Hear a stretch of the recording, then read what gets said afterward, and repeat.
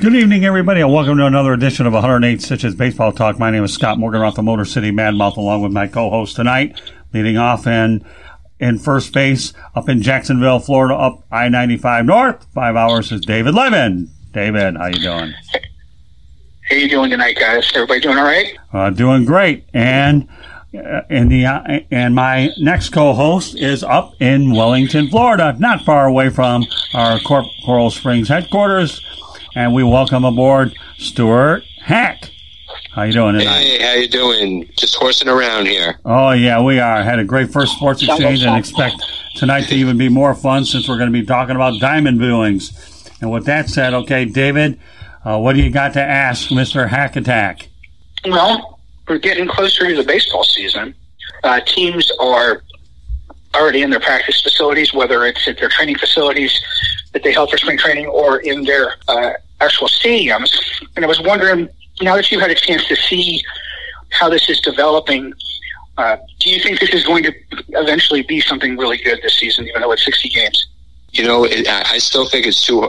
I don't think we're going to know until the last day of the season what this is because at any time, I, I think something can come up. You know, this is unprecedented. You think you're seeing some of the cases, some of the positive cases for the coronavirus are coming up now, and you're thinking, all right, they're getting it out of their system, but it could it could still happen, you know, to other players once the season mm-hmm. gets going. And I don't think you could take a breath until the last game of the World Series, and I think they'll get there.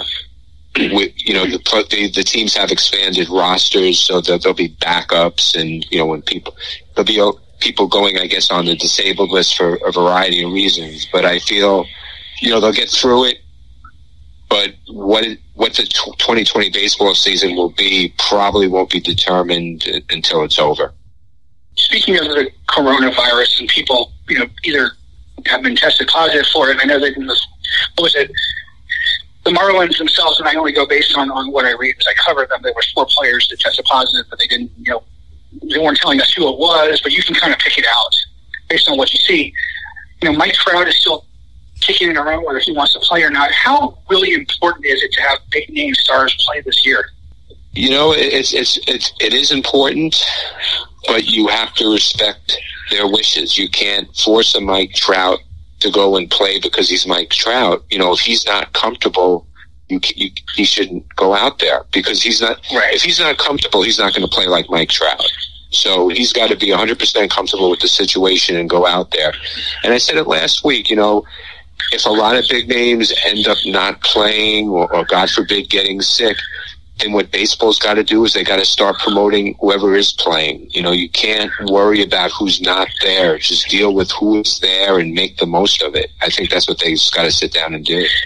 You know, and you know, I, I agree with what you're saying. The NFL for years, and, and the NBA to some extent, when you had teams that were perennial losers, you know, uh, the Jaguars or, or the Browns, or in the NBA it would be I don't know the Atlanta Hawks or some other team that you know, never made the playoffs. You always promoted, well, you're going to get to see this star play, and you're going to get to see this guy come in and play. I'm concerned that that's what's going to become of it. That we're not promoting the home team; we're promoting the guy that's coming in town to basically kick your butt. Yeah, I, I mean, you know, the other thing you have to look at too is well, most of these games aren't going to be played with fans. You know, the Mets announced the Mets announced today um, for fans that are renewing for 2021, they will be allowed to have cardboard cutoffs of them in the stands for 2020. Okay, that's fantastic. so I don't know. How, I don't know how much they're. Char- I don't know how much they're charging the fans for their cardboard cutouts. You know, the Mets need all the help they can get. I go to football games and I see people with bags over their heads to begin with. So that Oh, doesn't wait make for any that Yeah. but that that's fantastic. Well, David, if you're going to say that, are you going to just sit here and talk about the Jaguars having tarps too? Might as well go all the way, right? Come on, David, no, we've seen I'm it. go- no, but I'm gonna I'm gonna piggyback that now. Oh, yeah, Uh, right, you- okay. You, you opened it. You opened that can. The No, uh, you Baltimore opened it. Ravens. The, the Baltimore Ravens are going to cap. I believe it's fourteen thousand seats for this season. Where they're they're less, you know, they're trying to keep up with their social distancing, and they're still trying to, I guess, get fan revenue to come in. Um, do you see Major League Baseball possibly doing the same thing where the parks are smaller? So 14,000 people in a 35,000 seat stadium is half almost. Do you see do you see Major League Baseball maybe taking the ball with that and running with it? You know, for this season, I think it's going to it would be way less or, or even nothing because just because it's starting sooner. You know, the right. hope is when the NFL starts, you know, maybe things will clear up a little bit and they can go to 20, 30% mm-hmm. capacity for those stadiums. But for Major League Baseball, they're going to be playing games in two weeks. Yeah. yeah. You know, and it's, it's going to be empty. Have you been able to see? I was watching something on on the major uh, MLB channel, sorry, where uh, all the media has been spread out. They got to be in certain areas to cover. I'm so worried that you're going to see like little dots on the field if you're watching from home. And all you're going to see is you know a, a dot here, a dot there, a dot there. They should just leave it empty to begin with and not even play around with it. Yeah, I mean it's it's it's going to be a different experience, and I don't I don't think anybody from fans to players to broadcasters to writers anybody really knows what they're going to expect until they actually see it.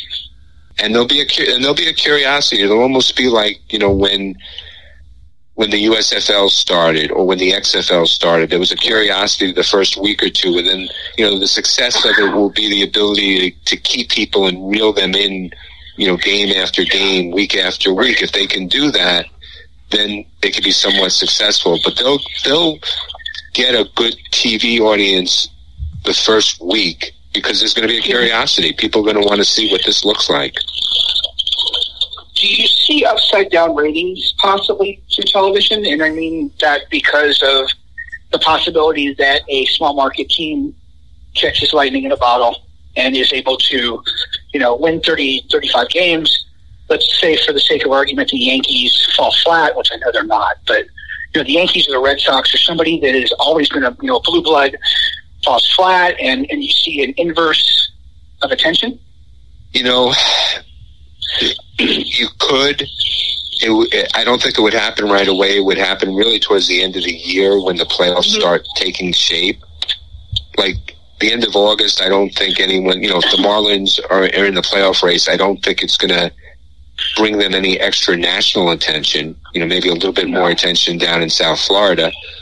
But, you know, once the playoffs start and the World Series.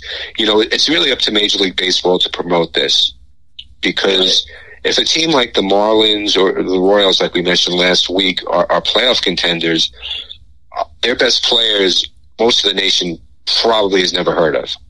So mm-hmm. it's up to Major League Baseball to get their names out, find backstories on them, make them compelling, make people want to tune in and, and turn on the TV and watch them.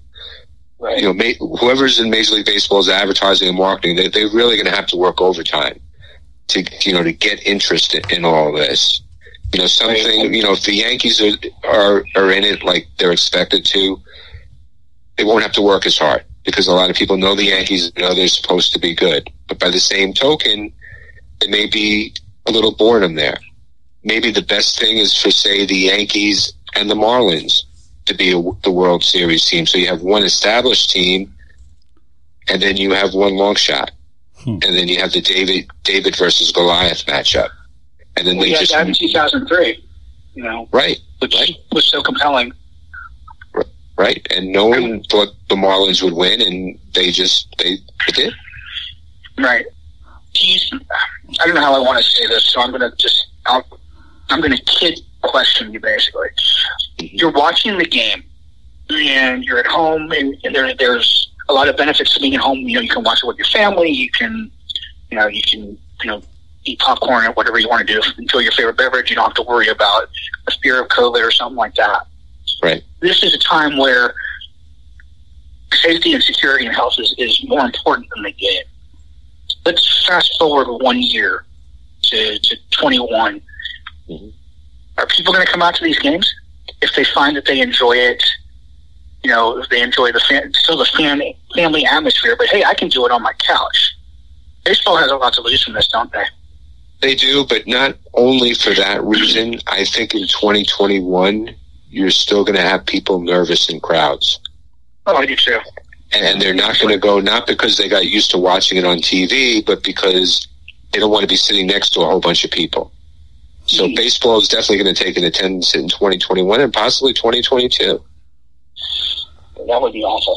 Really be Yeah, I think the one thing I should point out too, though, now that you bring that up, I like the Dave versus Goliath matchup. Remember, I'm talking about it many years ago. I remember watching the Miami Marlins and the Fort Lauderdale Yankees. Back then, though, we had the Florida Marlins and the New York Yankees. Just a little bit of South Florida trivia.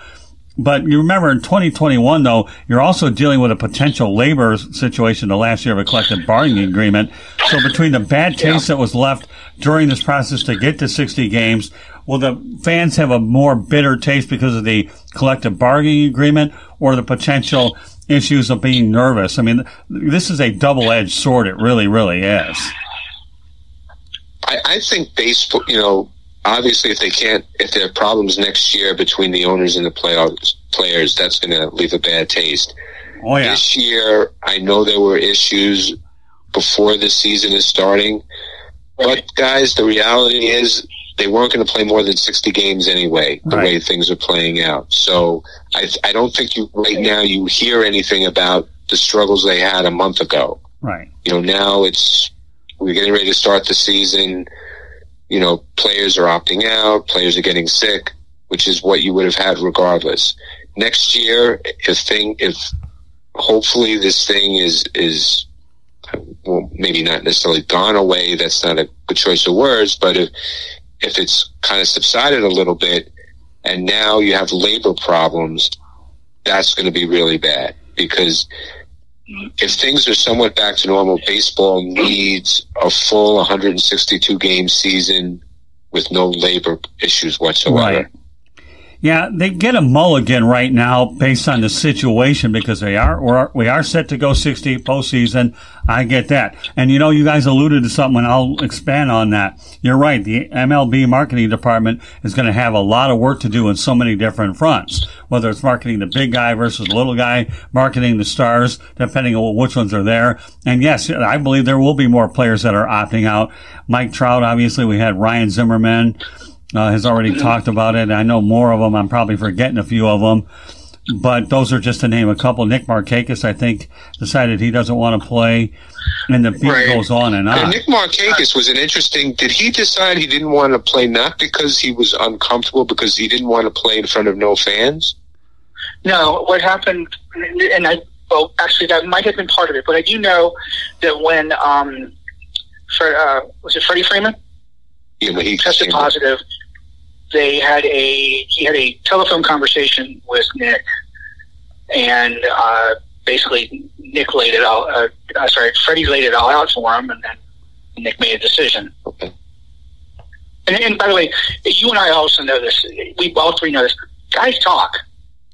You know, I'm on the phone, and you know, I'm I'm player A, and I'm talking to player B, and and man, I'm really scared about this. You know, I, I got a family, I got kids, I got a you know, wife is pregnant. I you know, all these things can happen. Yeah, you know, changing my mind. You're this. You're, you know, you know what I mean? It's it's it's a change. It's a, it's it's a it's a grapevine and we're going to see players opt out for those reasons as well. Well, I talked to so and so, and he's not doing it, so I'm not doing it. Uh, this is a it's a it's a real bad look right now. I think. Now, do you see players deciding mid-season that you know I gave it a shot, I played 20 games, 30 games, I'm just not comfortable, I'm going home? I that do. was my question for you next. I, well, let me let me answer that on my end. I actually do think that that could happen, Stuart. I, go ahead, David. no, no, go ahead, Scott. Yeah, Okay, I could that's see fine. that. Again, we're talking about a lot of different unknowns, and let me uh, answer that question by going over some things that I've picked up on these last couple Zoom calls uh, with the Marlins. And yes, folks, I'm learning how to do Zoom calls is one thing, but for me to do Zoom calls with the Marlins, I feel like a kid out of a candy store doing all the conventional things here from my desk. Can you believe that? Me sitting in a Zoom call asking these questions and getting excited about that. So for all you technology people that want to pick on me, do it with the Zoom calls. But to answer some of those questions that you guys are bringing up, I was talking to Don Mattingly and asking him a few things. One, okay, he addressed certain fronts at yesterday's conference. he knows that there's that the numbers are going to be strange, but he says that uh, winning a championship would still be meaningful. And he also pointed out that College World Series doesn't have a lot of games.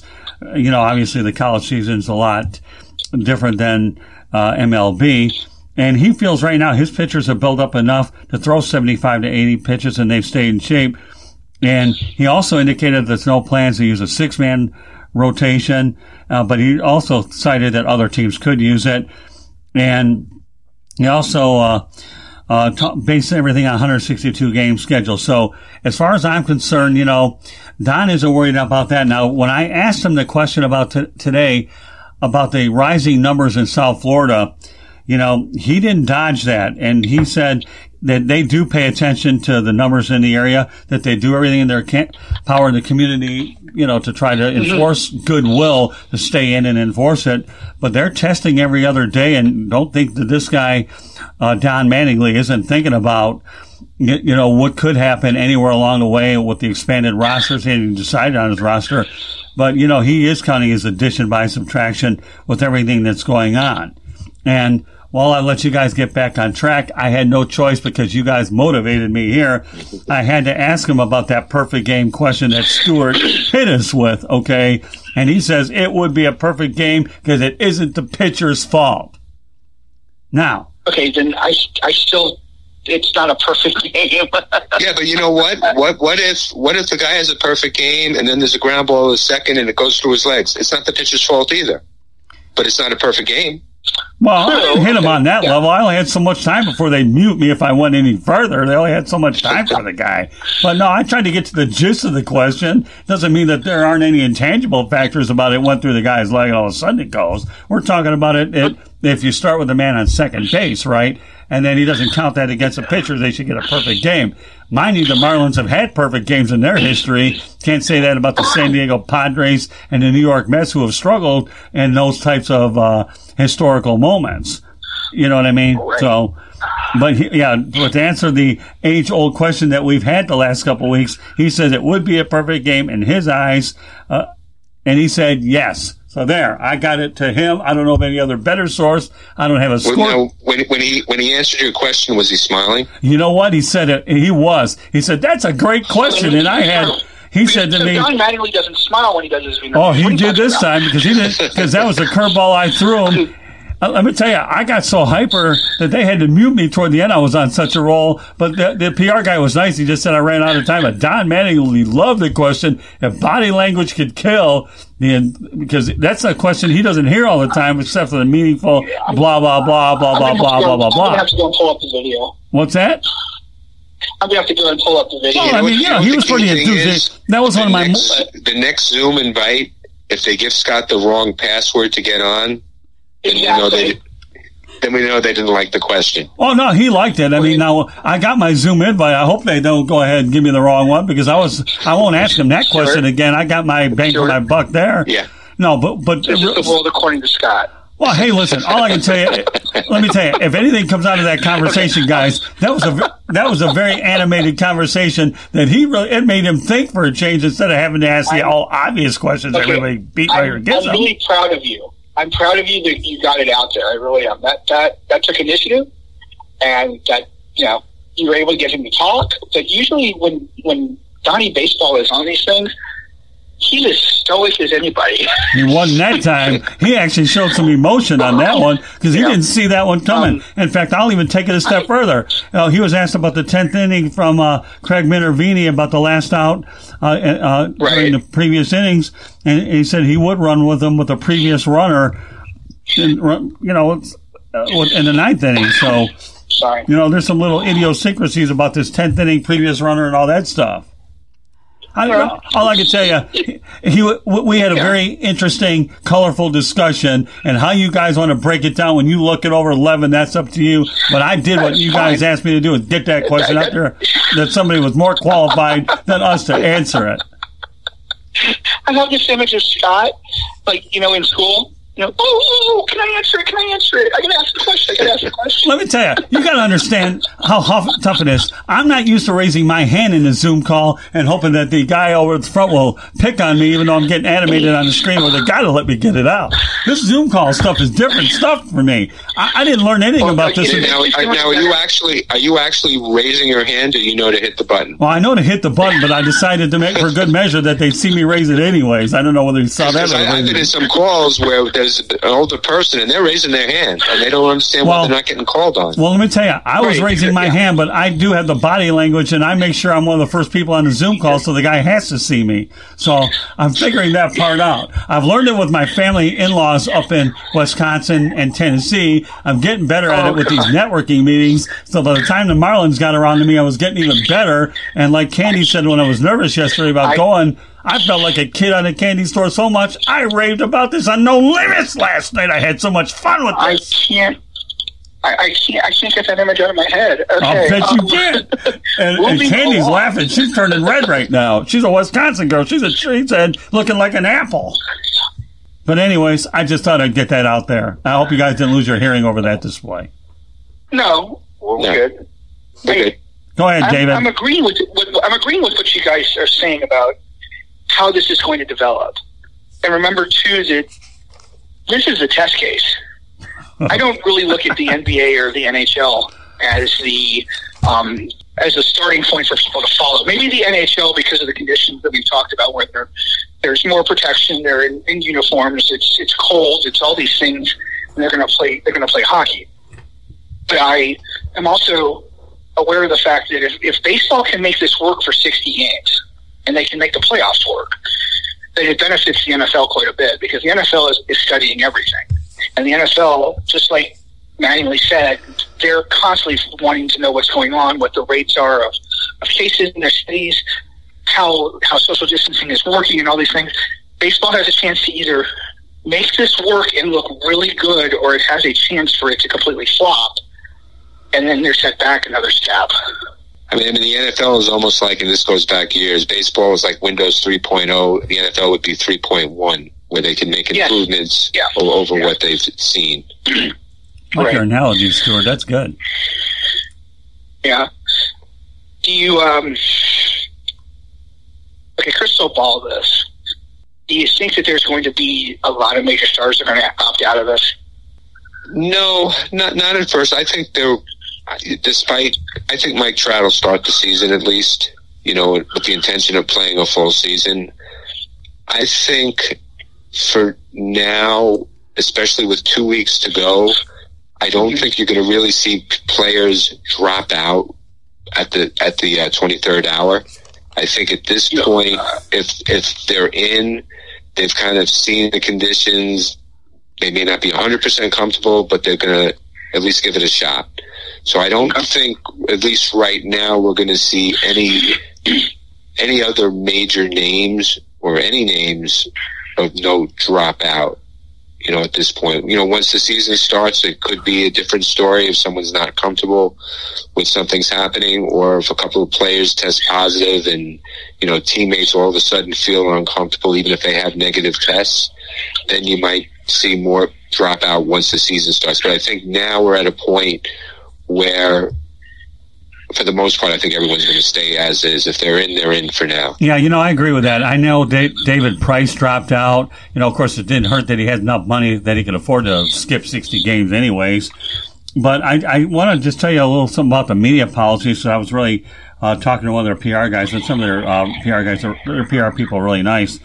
But what they're planning for the media, just so you know, is that uh, everything this year is going to be done via the Zoom, and there won't be any in-person coverage of games this year because of the large gatherings sort of thing, even with us. So now, again, whether or not they have uh, the extent of their media are just the TV people only is another story. But the majority of us aren't going to be going to Marlins Park at all. So I just want to make sure that for those individuals who wonder about the media, which is fine with me. You know, I, I don't mind waiting until 2021 because let's face it, the hotbed in um, Broward, Dade, uh, Palm Beach counties doesn't make me feel comfortable about going there anyhow. But they're, they're, very conscious about the media situation, making sure they do all of it on Zoom and only the very essentials have to do it. And there's another thing that has, that has, uh, been happening around MLB where a lot of the road home uh, around a lot of announcers will not travel on the road. It'll just be the uh, so you'll see a lot more remote announcing uh, around baseball this year, unless they were to drive and drive in separate cars, which I find it hard to believe. And, and, I think, and I think even some of the announcers are going to like. I, I heard an interview with uh, Suzyn Waldman, who does the Yankee games with John Sterling, mm-hmm. and they will. I don't believe they're going to be in the same room together. They're, they, are going to be they're going to be next in adjacent rooms, I believe, but they right. will not be. You know, they they won't be able to see each other. Right, it's connecting room of some sort. Let me ask you this, Scott, because you, you brought it up, and both of you guys, if sure. you'll, you'll answer, give me your opinion.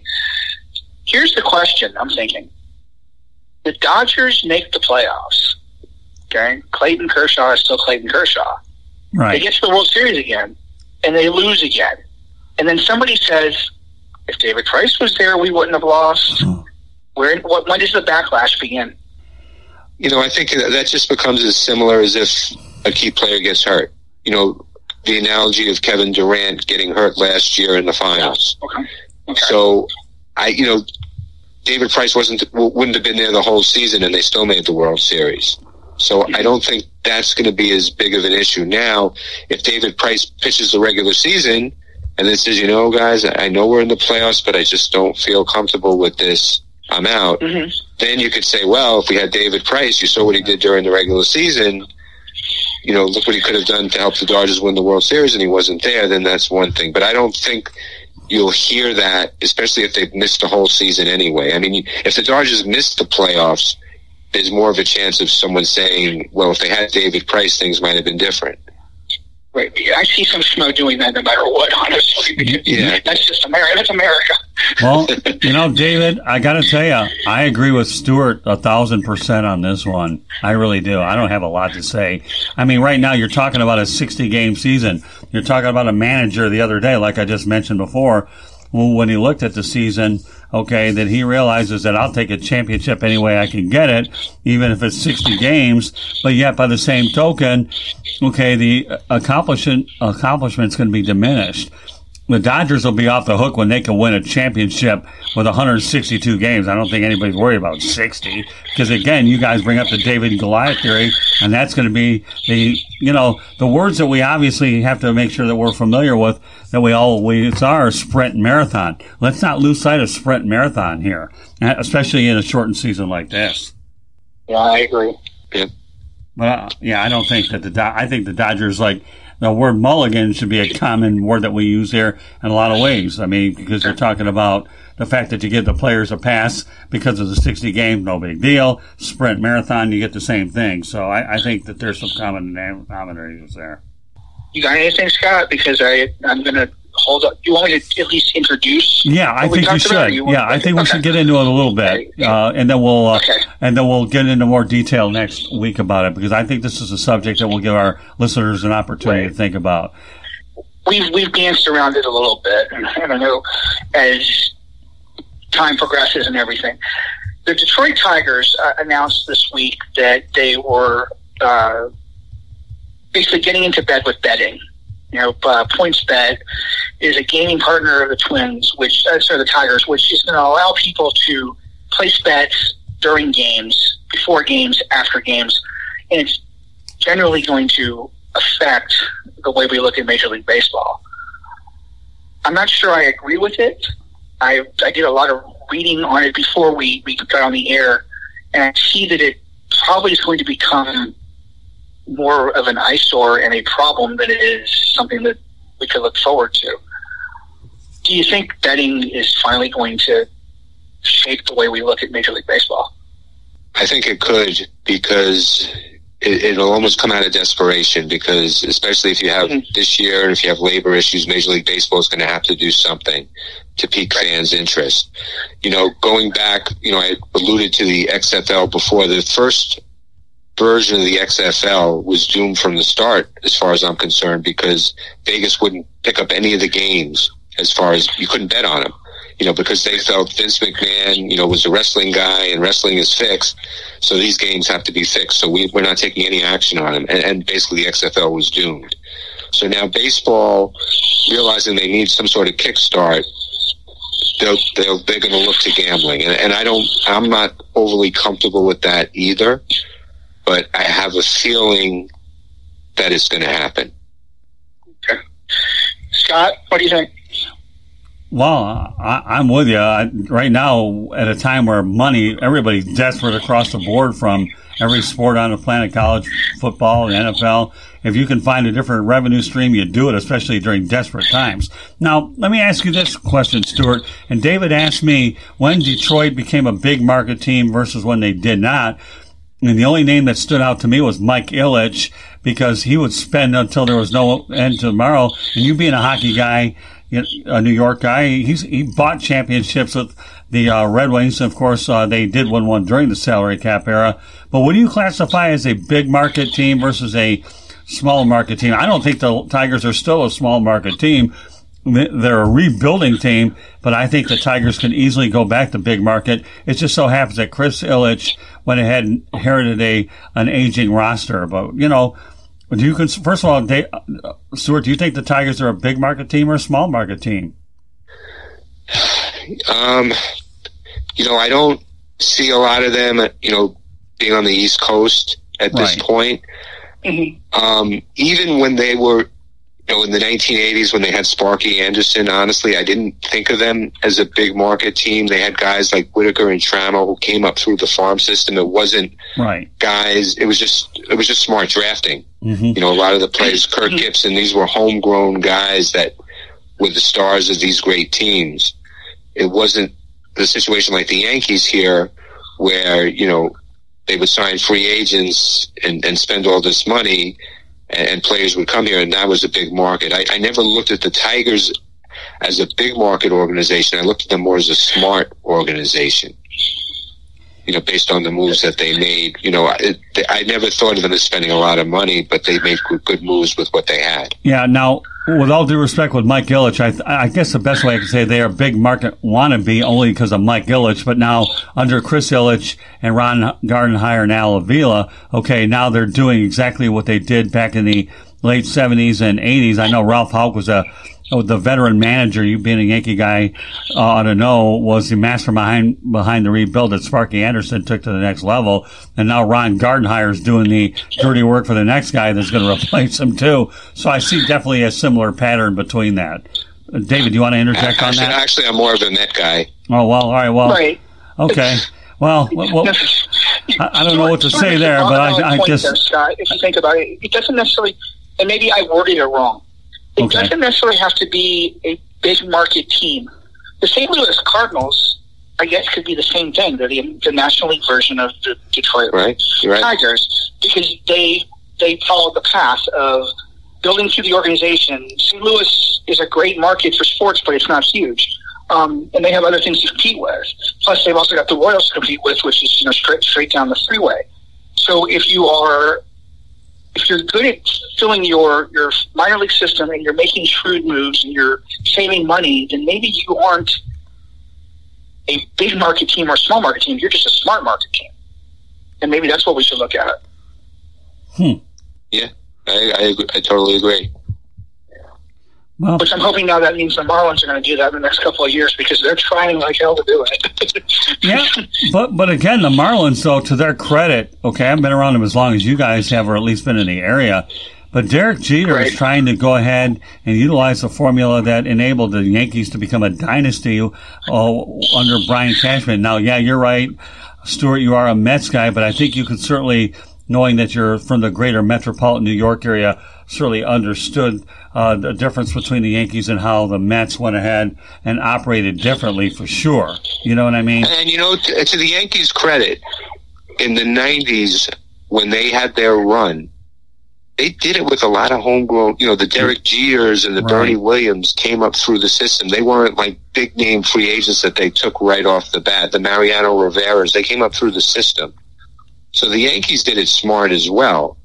You know, so they're so there's a, you know, there's a perception maybe similar to the Tigers in, you know, 10, 15 years before that, you know, wasn't necessarily the big name that they just threw a lot of money on. You know, obviously to keep these guys once they were eligible for free agency, the Yankees probably had more resources to keep them than maybe another team would have that brought them you know, through. That's because Steinbrenner didn't mind paying the luxury tax that went along with it. That he was going right. to keep key players. And and yes, and, and I've seen it. Like Scott had said, Derek Jeter is taking the Brian Cashman how to build a franchise uh, textbook, and he's following it to a T. And for everybody who is like poo-pooing what they're doing right now, and I know that there are you know thousands of fans down in South Florida who have been crying for a playoff team and, and want to see success. This team's going to be successful in five years, and it's going to be winning World Series titles, and people are going to be like, he knew what he was doing. I, I think that it's just it's the same blueprint. Well, I'll tell you what, he had a lot of guts trading Giancarlo Stanton, but he found a taker with the Yankees to do it.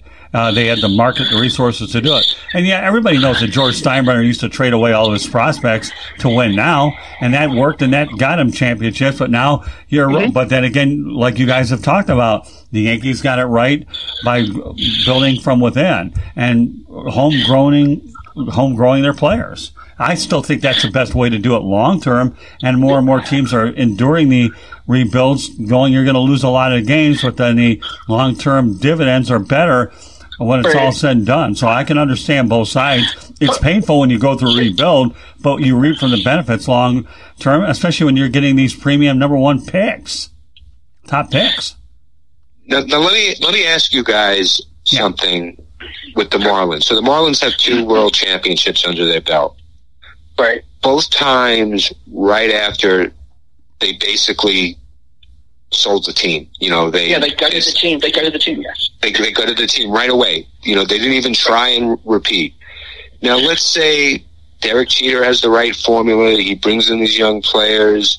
Three, four years from now, they make it to the World Series, maybe even win it.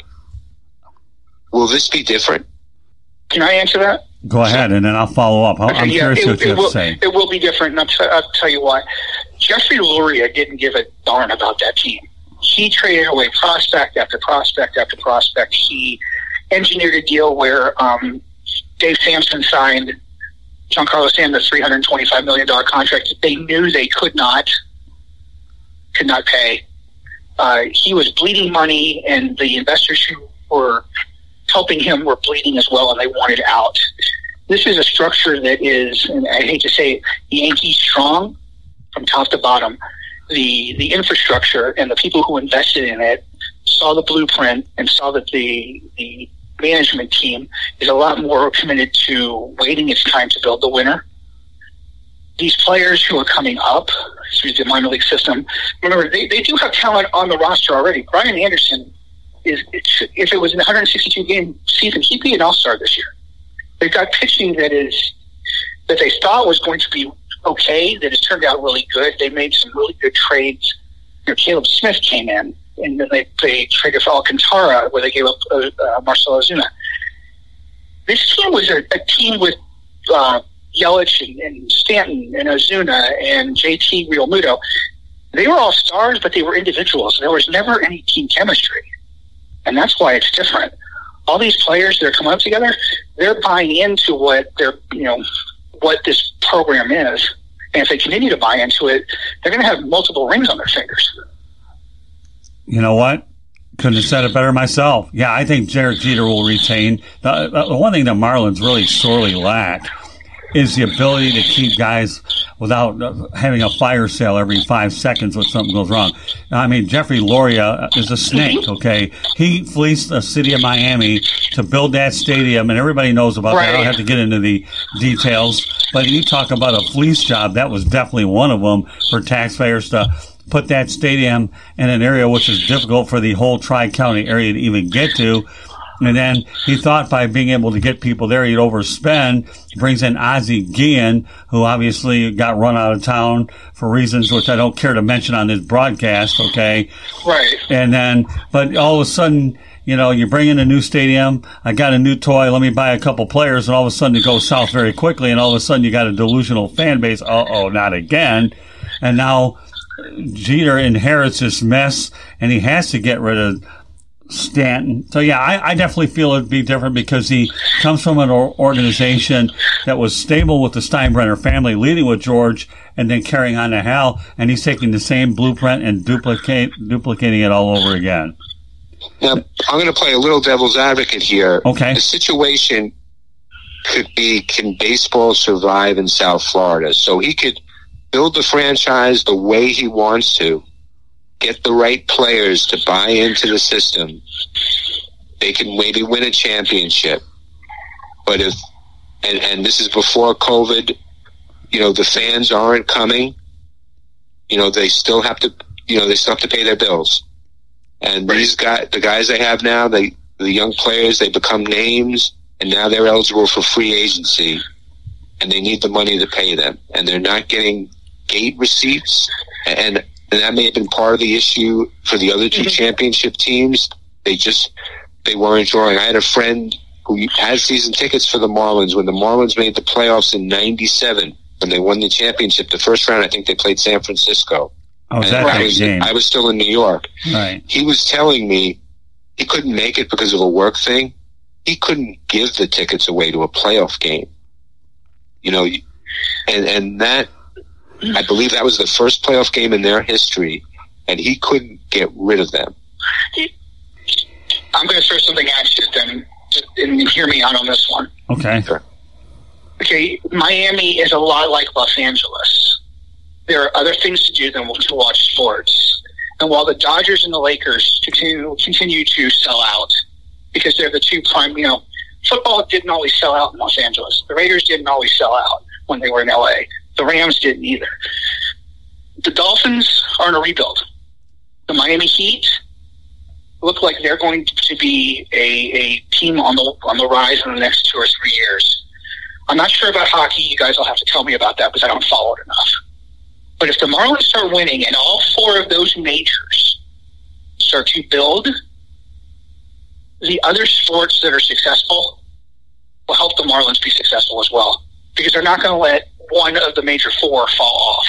Also, MLB did everything they could to make sure that Derek Jeter got that team. They wanted Derek Jeter involved in this. Remember, it was Jeb Bush who was pushing to be the owner of this team. He Right. backed. He felt he backed out because Major League Baseball did everything they they they wanted the rock star. They wanted his smile. They wanted you know the captain. They wanted you know one of the great icons of the business be involved in this baseball adventure. Right. So I don't see it. I don't see it tanking. I see it getting better. The only thing I can say about this whole thing, and I've said it before, that stadium is in the wrong location. Now, granted, back in the early days when the Dolphins were winning I- Super I, Bowls, I, agree with you, Scott. Yeah, the, when the Dolphins were winning Super Bowls, you had seventy thousand. They were putting them in there. That was then. Okay. Now, had that stadium been have been built anywhere than where it's at now, then I think you have a much better chance. Okay, for the gate to become a lot. You'll, you'll be able to sell more tickets. You can put 30, 35,000 in a baseball stadium, not seventy thousand. But that stadium's in the worst location. I understand they got they got a sweet deal with the land. to me the accessibility is for Miami. So Derek Jeter's thinking, I'm going to try to build on the Latin dollar. That's great if you can do it. Now, again, though, like you said, this is South Florida's a win. If you uh, if you don't win, we don't support. Maybe there's enough baseball fans that will do it.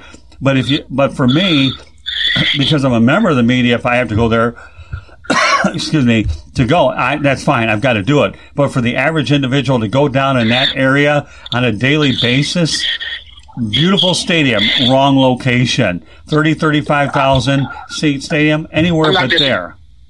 And, and I, uh, I wouldn't disagree with you either. I'm in Palm Beach County. Right. And when the, and when they were playing in the football sta- stadium, I would go to like five, six games a year. You know, it took me, mm-hmm. you know, maybe less than an hour to get there. Right.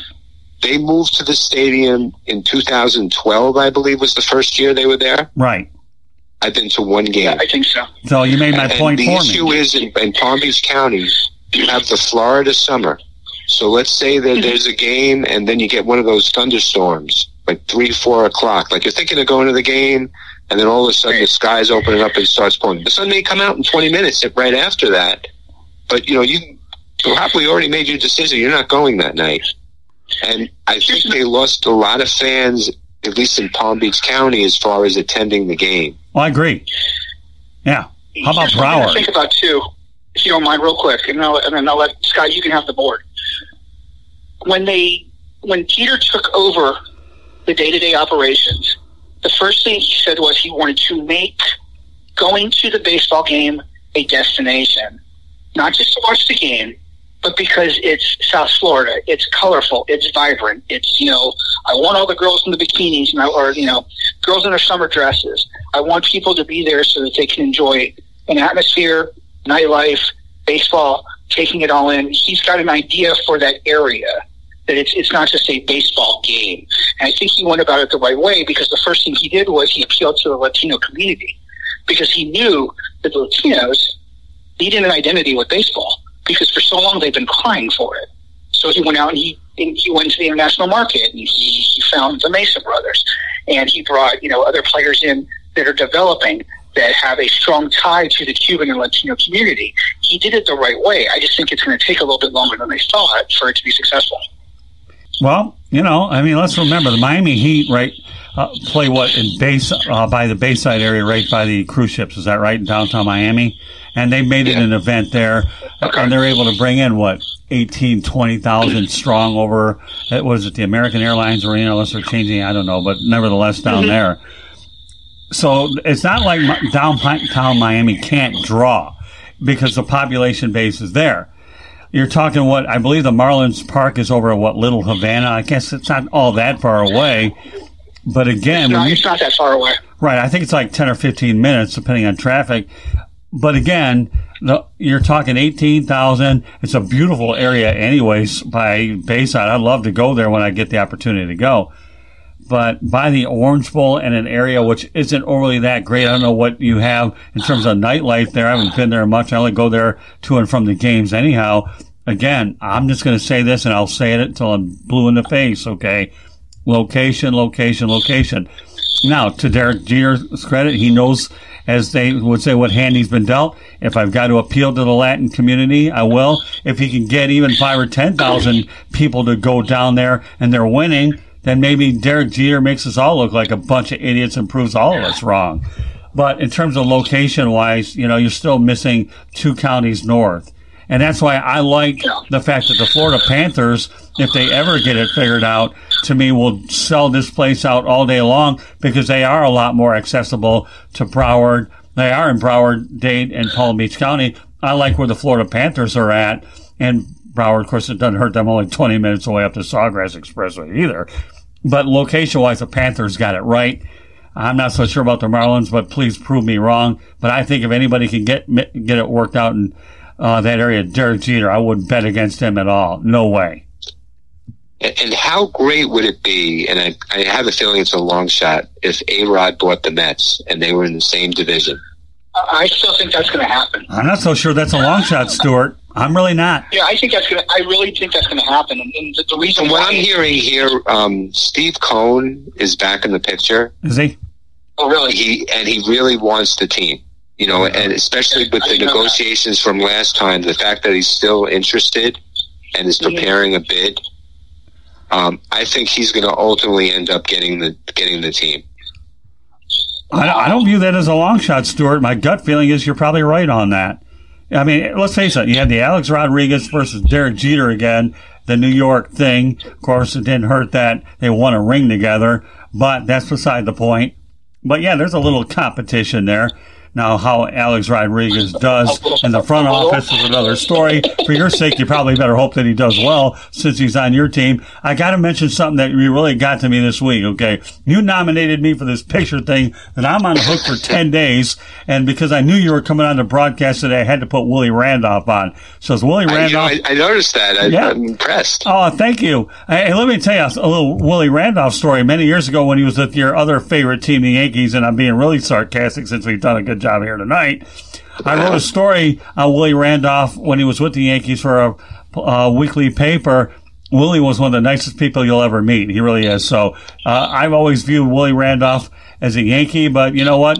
You've had a lot of players that have played for the Mets and the Yankees back and forth, and we could probably devote another show to that. We'll actually do that one day, Stuart. This will be the Stuart Hack New York Mets show, New York show, and but you'll have to do the research about the crossover. How's that sound? Sure, All right. that's that'd be great. You know, Willie Randolph. You know, when he managed the Mets, he got a raw deal at the end. Honestly, Oh, yes, he did. they ended up firing him. They made him go out west. They made him travel out west on a road trip. And I think before he even managed a game out there, they basically took him off the team bus at three in the morning and, and said, "You're gone." Um, Oh. he, he he didn't he didn't deserve it. He um he had the beginnings. You know, he, he had had um, in 0506, They were turning it around a little bit from the Art Howe years. I, he wasn't the greatest in-game manager, but the players respected him because he was a winner. And he just, you know, it, it had the collapse at the end of, you know, those seasons um, in, in 07 that didn't help. And I, I just thought he deserved a little better. I'm not saying they shouldn't have fired him, but the way it went down, I didn't think it was respectful. Well, I knew you were coming on the air tonight. That's why I put his picture. So I knew is it is it is he a Met or a Yankee? Now you want to talk about things like that? Lane Kiffin got fired right when he got off the plate over at USC, and Gerard Gallant got dis, uh, fired by the Panthers uh, unceremoniously as well. So this stuff does happen whether you're on the plane or when you get home. Uh, thanks don't need you anymore. But yeah, Willie Randolph did get a raw deal. But I always look at the fact that it was such a great interview early in my journalism career and the class act. And I wanted to make sure, because you were coming on here, Mr. Hack, that I was putting Willie Randolph nice. on something, knowing that you had, had already recruited me out for 10 days, putting this stuff up on Facebook. you know, you know, someone someone did it to me. I was just trying to pass it on. And you know what? I've actually Okay, enjoyed well- it because there's a lot of photos I hadn't have- put on I Facebook. Been, I haven't been tagged yet, and I'm very happy. Oh, don't worry. Uh, you will. Don't worry. I, let me tell you what, Levin. I couldn't tag you when your dad's going through all these things, so I had to give you a break. So that's what I did. I got it. I, but don't worry, you're you're you're one of the ten. But when Stuart Hack did this to me, I was looking for excuses to go ahead and get pictures on Facebook, and I couldn't think of a better way to do it than when Hack nominated me for this thing. So don't worry, uh, Levin. I haven't forgotten about you, but I couldn't do it when your dad's Yeah, going through all- medical all, problems. All of my pictures, all of my pictures, by the way, Yeah. will be of Green Bay Packers, just to just to make you happy. no, well, it's You know, I, I was I tried to be a little creative with it. You know, one day I did um, Joey Chestnut, Did you Yeah, I saw that. made major Major League Eating. Well, I had another guy when I did this thing, Mike Del Pozo from my Coral Springs group, who's who's a uh, big New York uh, pr- uh, fan as well. I don't know if he's a Mets or Yankees, but he's a New Yorker. But I only put that on there because of you, and I figure I'd stroke Del Pozo's ego a little, but that was definitely because of you. Oh my gosh. Oh yeah, I don't care about what Mike ever says, but it, he did get a like out of this whole thing. But I've never, Stuart, this is a credit to our friendship, okay, have Okay. ever got involved with one of these old uh, 10 day deals here where I'm obligated to write the stuff who I did what. This is a one and done. Uh, let me tell you, and that's out of respect for you, Mr. Hack, because you kindly take your I, I time on Thursday it. nights to be on is this the broadcast. 2020 equivalent to the chain letter. Exactly. oh my gosh, yes. So right. Don't worry, Levin. I, I haven't forgotten about you, man. You know, sit there. I got ten records that really affected my life. Really, come on. It's You, No. you know, I, I um I got nominated by a, a congressman uh, by a councilman here in town, so I felt I had to do it. Um, you know, I did things like um, there were obscure players like Ivan DeJesus was an inside joke between a friend of mine and I growing up. So gosh. I put his picture in and nominated. That was the day I nominated my friend to do it. And I even said we're probably the only ones that get this inside joke. Well, Um, so I try I try to do some sort of like you know like Scott did today, some sort of connection. Well, the obscure journeyman who is at Yvonne de Jesus. Well, see, you know what? I'm taking a page out of Brett Favre's book and waffling about who I want with David Levin. Now, for me to go out Yeah, there and pin it. Lewis Eddie Weiss with Barry Sanders, I don't care. I wanted Barry up there. I didn't really care. Okay, so that was different. But you know, Jeff Adelman, the other guy I put up there, I had to make sure he was a Gordie Howe guy because he's a Chicago Blackhawk, and he definitely and Gordie Howe saw a lot of the Blackhawks. So I'm trying to strategically place certain people about where I want to put them. But don't worry, Levin. You know, I, I was showing a little soft side because your dad know, was sick. Okay. It's But okay, Scott. huh? We're good. Oh no, Okay. we'll be good when I tag you, my friend. How, how many how many days do you have left, Scott? I've got five. Okay. Oh yeah. It's coming. It's coming. All right, so guys, um, let's uh, let's let's get back to business here. Okay, we've, no uh, problem. Sorry to get off a great many subject, but that's okay. Um, we got anything else going on that we want to talk about, or are we going to save the other stuff for uh, next week? What do you think, Stu? What other stuff's come up in MLB you want to talk about, buddy? Um, I guess you know we'll be a week closer to opening day next week, so so things may start to clear up, or they may get a little bit more cloudy. It, it's kind of as the COVID turns. Yeah, It's well, kind of exciting though too in this in that case because you really don't know what's going to happen day to day. yeah. I think the one thing I could And probably, maybe they should market it that way. yeah, really, no kidding, day to day, right? Hey, go ahead and call them right now and do that, please. Well, let me tell you, Make our life a lot easier. Between the betting thing that we're going to talk a lot more about next week, of course, it also begs that question about whether Pete Rose belongs in the Hall of Fame based on PointsBet. I know we'll talk about it more in detail, but you know, based on this, do you think anybody would ever reconsider giving Rose, or is he just out of there no matter what? Even though now we have gambling into the picture. I think if he would have been contrite, Yeah. if he would have admitted it sooner, I think if his disposition would have been better, I think baseball would have been more forgiving towards him. And yes, Yeah. I think they definitely would have let him in, but he was very stubborn. Right. Um, and you know, and, and as a result, he probably will never get in. Or if he does, it'll be long after he's, he's left this, it'll be after he's left this earth. Yeah, he's dead.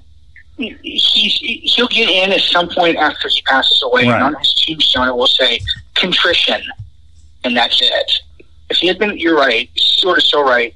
If he said, I did it, it was wrong, I shouldn't have done it, I, you know, I, I apologize, I still love the game, he'd be in the Hall of Fame by now. I think so too. Well, I know what I've got to look forward to other than PointsBet on next Thursday's broadcast is I'm going to go ahead and start piling up my Zoom meetings with the Marlins and see if I can come up with You some more substance. I will. I actually have a notebook there taking legitimate notes and I have to make sure I don't get muted again. But now that I got the main important questions, I'll be a really subdued individual if that's even possible. I don't even know. Whatever. Good job, guys. Really been a lot of fun. Great Uh, job. Oh, I can't Yeah, wait. Good to- night. so with that said, okay, why don't we go ahead and uh, let David Levin lead off in terms of how they get a hold of Mr. Levin. Sure. I uh, write for fansided.com. I cover the Miami Marlins on marlinmaniac.com. I also cover the Jacksonville Jaguars on blackandteal.com. If uh, you want to reach me on Twitter, I'm at DM719907. And I am the co-host with uh, Scott and Stuart here on 108 Stitches. All right, Stuart, you're next. Okay, I am Stuart Hack. I am the managing member of Hack Tax and Accounting Services in Wellington, Florida. I, I have my Twitter is HackTax1. Um, my website is www.hacktaxandaccounting.com. I am also the immediate past president of the Wellington Chamber of Commerce as well as their treasurer. So I do things that are outside of baseball, although baseball was always my first love as a child and I'm glad that you guys have given me the opportunity to talk about it on a weekly basis. Thank you. Oh, we love having you on there. Yeah, we got to look at our dynamic trio here with you on the Thursday broadcast, 108 Stitches Baseball Talk with myself and David Levin. But that said, okay, how you can get a hold of me? Numerous ways. We'll start with Twitter at Tribune South, Facebook if you're looking for the hat trick version at South, yeah, South Florida Tribune on Facebook, Instagram South Florida Tribune. Uh, YouTube channel, South Florida Tribune, will be a lot more active if COVID 19 ever behaves itself, which I'm not holding my breath anytime soon, but I'll still get it out there if I can remote, uh, find a remote area. Don't worry, it'll be more active. Website www.southfloridatribune.com. You can email me at uh, southfloridatribune at gmail.com. LinkedIn, you can find me, Scott Morganroth, on LinkedIn. And of course, you are listening to 108 Stitches Baseball Talk and the WSA network. And you can also find these broadcasts on SouthFloridaTribune.com or wherever you get your podcasts. Well, we have a lot to look forward to next Thursday. We'll talk more about the PointsBet and I'll do it the best I can to compile up some media information from the Marlins and enjoy these Zoom calls and see what I can get out of them. And because I'm sure we'll get closer to some of the answers that we need. So on behalf of Stuart Hack and David Levin, my name is Scott Morganroth, the Motor City Manmouth, asking everybody out there to be safe, use common sense, social distance, don't take corona, COVID-19 lightly. This is a very dangerous virus, and we don't want you to be on the wrong side of the st- stats. We talk about numbers, but don't be on the wrong side of these. Good night, everybody, from all three of us. We'll catch you the next time.